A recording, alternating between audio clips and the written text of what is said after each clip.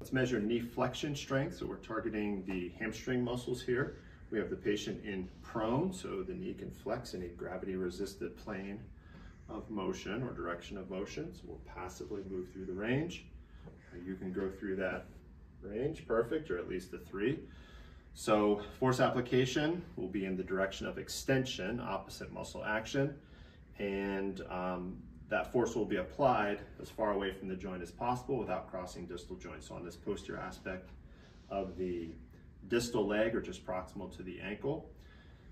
Abiding by our fulcrum principle, the table will create the stabilization force, which is going to be opposite the hamstring, so on the anterior side of the thigh, just proximal to the knee.